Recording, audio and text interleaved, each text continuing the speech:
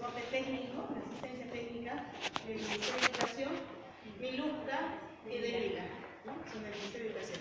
Hoy vamos a desarrollar un curso, un evento muy importante que va a durar hasta el día viernes y tiene que ver con el comportamiento ético, ¿no? todo lo que corresponde a las normas éticas, transparencia y lucha contra la corrupción, gobierno abierto, acceso a la información que tienen que recibir nuestros ciudadanos, con todo lo que corresponde la mejor atención al ciudadano, el buen servicio al ciudadano. ¿no? Vamos a tener también estas intervenciones y asesoramientos técnicos, cómo debemos de funcionar como Dirección Regional de Educación, como unidades de gestión educativa local. Pues este curso está destinado en este primer día para directores, jefes de la Dirección Regional de Educación y de las unidades de gestión educativa local.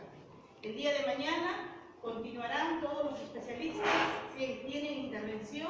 También va a haber asesoramientos técnicos a las comisiones de Secretaría Técnica sobre los debidos procesos administrativos y disciplinarios que se aplican a todo el personal administrado, tanto personal administrativo como personal docente de la carrera pública, de la ley de la reforma magisterial.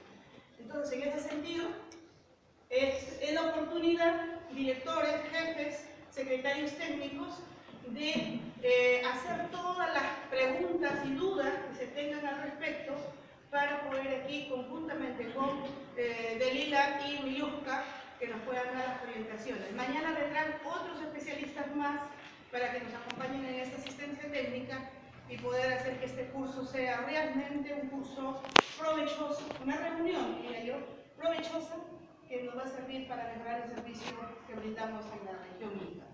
Es, creo, sin equivocarme, una de las primeras regiones que inicia toda esta avanzada, ¿no? de organizar y y, y, tratar de brindar el mejor servicio al ciudadano. Eh, es necesario que hoy, en este momento, que además el año ha sido declarado año del buen servicio ciudadano, tengamos claro qué significa el gobierno abierto.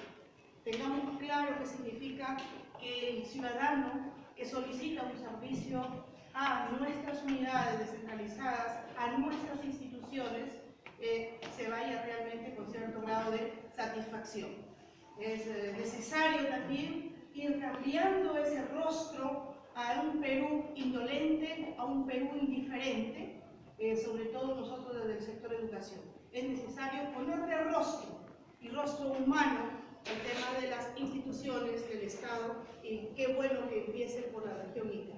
Hoy, sobre todo, para nosotros es un día muy, muy especial, con muchos sentimientos encontrados. Tenemos a 10 años de haber ocurrido un suceso terrible de la naturaleza aquí en la región Ica, eh, definitivamente pues eh, estamos con momentos muy dolidos porque hemos perdido familiares, amistades, ¿no? personas conocidas y eh, también es, es, es importante que este momento sea un momento de reflexión, de reflexión para quienes hoy nos encontramos como autoridades, porque las cosas pareciera que en aquel momento hubo mucho que aprender y hubo mucho que corregir. Y a la actualidad, a los 10 años, todavía vemos muchos pendientes. 10 años habíamos transcurrido